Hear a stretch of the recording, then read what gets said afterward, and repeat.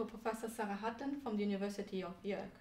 She is well known to all of us, especially here in Paderborn, as she has often visited us, and already in 2014 as visiting professor.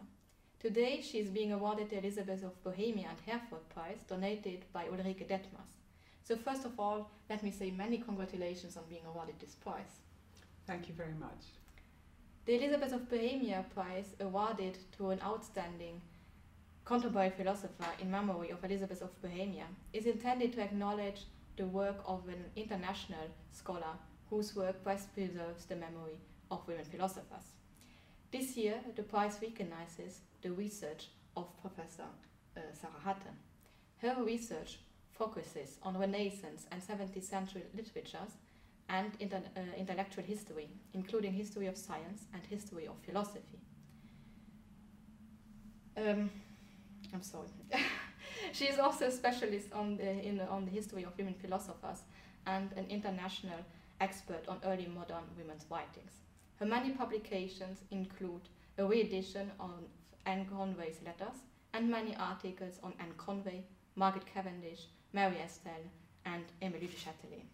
So what led you as a pioneer, so to speak, to work on the history of women philosophers? Was it a desire to fill the gap that exists in the sources of women philosophers, especially when we think on the neglect of Anne Conway and of early modern Neoplatonism more broadly? Well, I was always interested in the women thinkers of the past, but when I graduated, there wasn't any work really being done on them. And it was really my work on the Cambridge Platonists which led me to work on women philosophers, together with an increasing um, atmosphere of interest um, as the women's movement gathered pace in the history of women generally. It, I think it was particularly when I was working on the new edition of the Conway Letters. Well, it's not a new edition, it's a revised edition. I came to realise that Anne Conway was a very significant figure. There were already people interested in her, but um, th there was very little written on her. So that led me to work on Anne Conway, and through that um, broadened my interest more generally in, in, in women um, of the 17th century. So I, I think when I graduated, if I'd set out to work on women philosophers, I, I don't think my career would have gone, gone anywhere because there simply wasn't that kind of interest. It was regarded as a rather niche interest in those days. Yeah. So what role did Elizabeth of Bohemia play in your choice to work on women philosophers?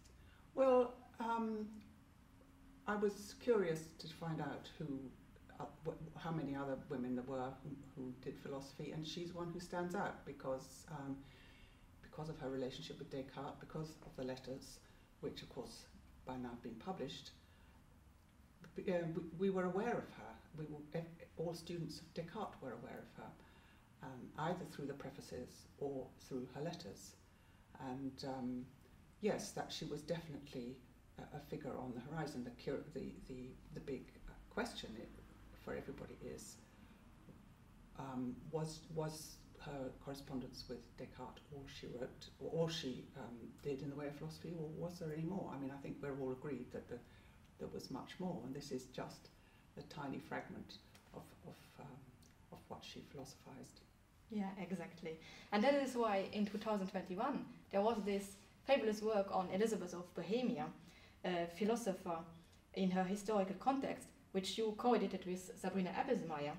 And in this book you have also published an article on Anne Conway and Elizabeth. And I was uh, wondering if you could give us some insight. So did both philosophers have contact? Were they aware of each other's philosophy? And or how can we explain that there was there are so many numerous similarities in their philosophies? Well, as I as I explained in that article, um, it is it is tantalizing. There seem to be so many uh, circumstantial um, commonalities between them. They knew the same people. Um, they were contemporaries.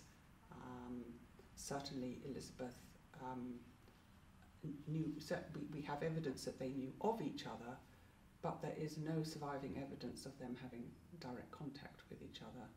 So we must just kind of assume that any contact was indirect through uh, through their the contacts which they have in common, principally Francis Mercury van Helmont and, and Henry More. As to um, the extent to which their philosophies um, overlap, again, it's very difficult to judge. What we do know is that they were both introduced to philosophy through, through Cartesianism. Um, Elizabeth had the enormous um, privilege of, of actually personal contact with Descartes. Um, Anne Conway, uh, by the time Anne Conway studied philosophy, Descartes was uh, uh, dead, but her teacher, Henry More, had been in correspondence with Descartes. Um, and so, and, and one or two of the letters that they exchanged on Cartesianism survive. So we know that their beginning point was a similar one. We also know that they both made criticisms of, uh, of Descartes' dualism, um, but um, how their philosophy developed from that is, is, is one of the big unknown questions. It's evident from other things that Elizabeth seems to have remained faithful to Descartes, um, but in the case of Conway, we do know that she uh, developed a philosophical system which, which repudiated the basis of, of Cartesian philosophy, although she was very, she was very, um, she admired Descartes' uh, abilities in natural philosophy. Um, she, she didn't think that his metaphysics worked. Yes. Okay. And you mentioned before that when you graduated, there was not much uh, sources of women philosophers. Mm. And so I was wondering when I had a look at your articles on Anne Conway and on Emily Chatelet, that there was one striking question. Can we speak of these women only as philosophers when we have uh, them in comparison with their male, with their male colleagues? Or was this a fate, a manner to write, to not shock the tradition, I will, I will say, and that now leaves more and more place for writing only about women? Because that, when one has a look at the articles in uh, 20 years uh, ago, one sees this comparison between, I do not know, Descartes and Elizabeth of Bohemia, or Henry More and, uh, and Conway. But now there are more and more only on Anne Conway, only on Elizabeth of Bohemia. Well, first of all, it's not a precondition that women only philosophize in relation to men.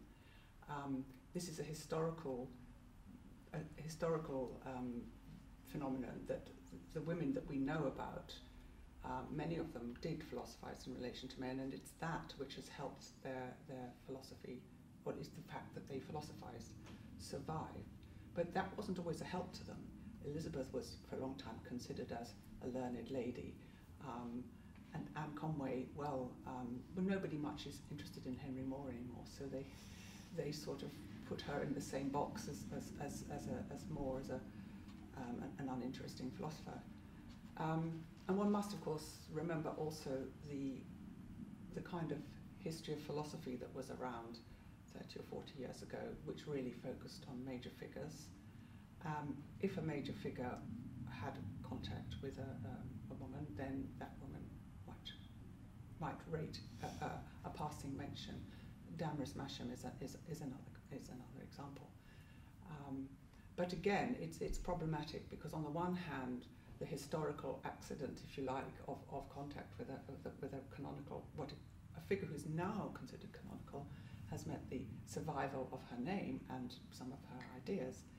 Um, on the other hand, the way we've canonized figures has in, inevitably meant that those women have been sort of downgraded to, to sort of as a mere, there's a, there's a rather curious English word, helpmeet, a sort of an assistant or a sort of a kind of, anyway, gen generally in second rank in relation to a minor figure in relation to, to the man.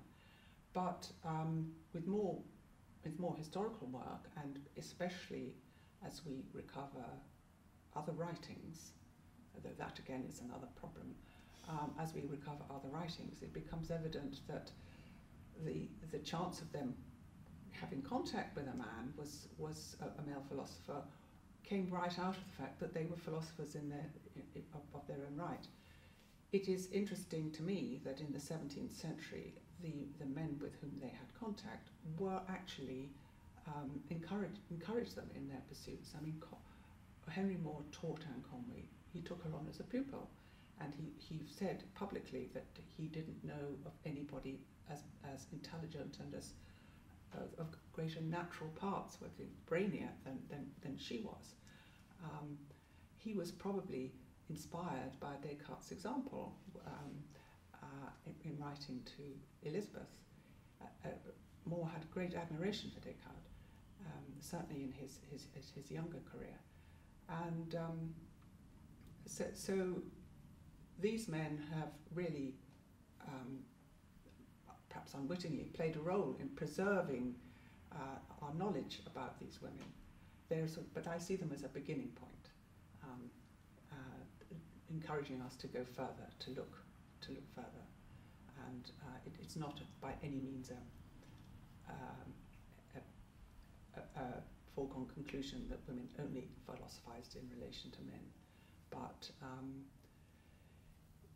bearing in mind the difficulties they had in education and other disadvantages, um, certainly in earlier periods, uh, if, even if they were totally dependent on men, it was certainly helpful to have that kind of contact because it was an entree into what was still a very masculine intellectual world. Yeah. So we have not only to preserve tradition but also to open this tradition, to uh, open the canon for women philosophers. And um, as I saw, you are the, on the board of management of the Journal of the History of Philosophy and a member of the editorial board of the British Journal of the History of Philosophy. So are these two positions, I will say, possibilities uh, for you to advocate for women philosophers today? Well, first of all, I'm, I'm actually no longer on their boards. I'm, I'm now I'm retired from that. But, but, but, but certainly yes, and I think actually uh, well, not in the case of the British Journal, because I was on the board from, from the beginning there. But I think my interest in, in women philosophers was a factor in my appointment to the Journal of the History of Philosophy um, because they, they wanted that expertise on, on their board. And um, they, um, um and yes, I mean, I think both journals um, have, have played a part in, in carrying articles on, on women.